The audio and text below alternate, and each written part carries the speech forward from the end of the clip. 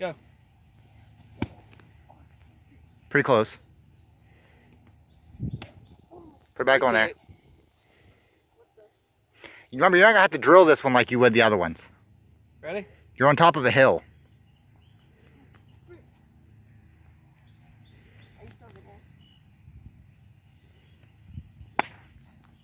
Okay, new ball. You want me to do it? Okay.